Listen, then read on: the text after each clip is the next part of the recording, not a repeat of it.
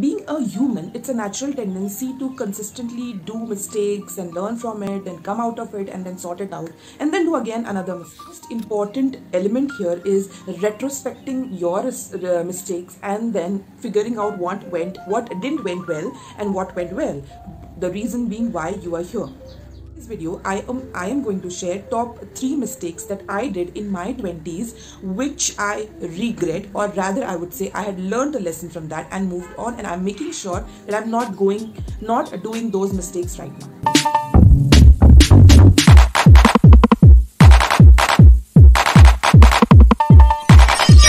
So to start with, somewhere around 2014, I had started my career of earning i was earning a pretty pretty decent money then. And in that process i used to get up in the morning go to work work there come back home eat sleep and of course i used to take a little bit of tuitions here and there in that process.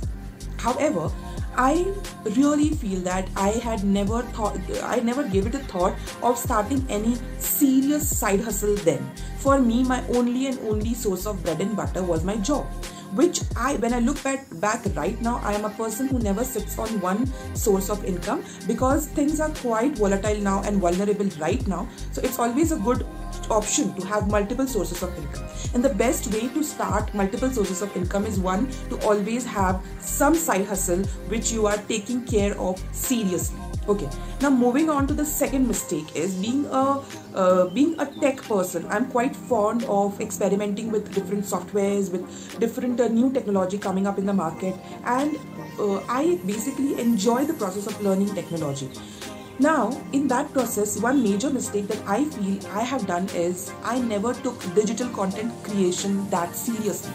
Although I started digital content creation somewhere in 2019. However, for a year or two, I never ever took it seriously. It was just a sort of time pass for me, but not a major work which I always used to target and finish. No, it never happened.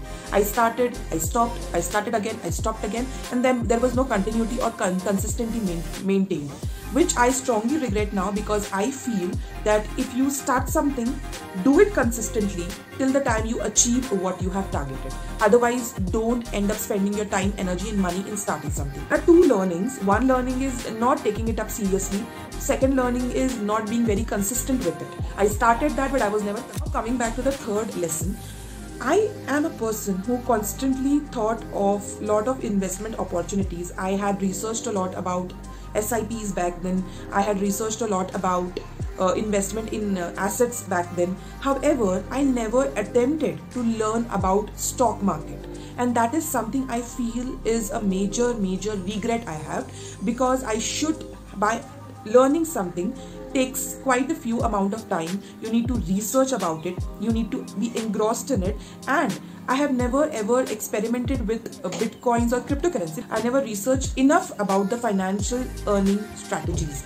And hence that is the third lesson that i feel from my 20s that stay updated with what's happening in financial market whether or not you whether or not you have to invest in it. That is not a mandatory rule but at least you should be aware of what's happening there. I hope this video was as helpful for you as it was helpful for me when i was introspecting what i should make and what should the content. I realized so many mistakes and so many lessons. And the best part was i am happy that i learned from them. And yes i'm moving on with a better perspective now Thank you so much. Do consider subscribing to this channel if you feel it is helpful for you. Take care. Bye